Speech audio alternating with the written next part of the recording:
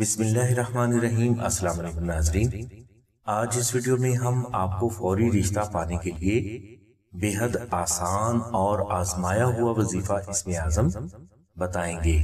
وظیفہ کے لیے آپ بعد نماز عشاء اول و آخر بہتر بہتر مرتبہ درود شریف تلاوت کریں اور درمیان میں آپ اسم اعظم یا اللہ اکتالیس سو مرتبہ اور درود تاج گیارہ مرتبہ اکیس روز تک تلاوت کریں۔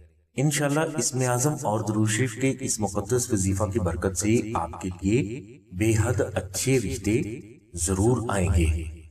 ناظرین اگر کوئی بھائی یا بہن کسی وجہ سے یہ وظیفہ نہ کر سکے تو وہ فوری اچھا رشتہ حاصل کرنے کے لیے نقش اسم اعظم کو اپنے گھر میں کسی پاک جگہ پر رکھے انشاءاللہ اس وظیفہ کی برکت سے اللہ تبارک و تعالیٰ کی ذات آپ کو جلد اچھا رشتہ غیب سے ضرور عطا فرمائیں گے نقش اسم اعظم کی مکمل تفصیل کے لیے لنک ہم نے ڈسکرپشن میں دے دیا ہے۔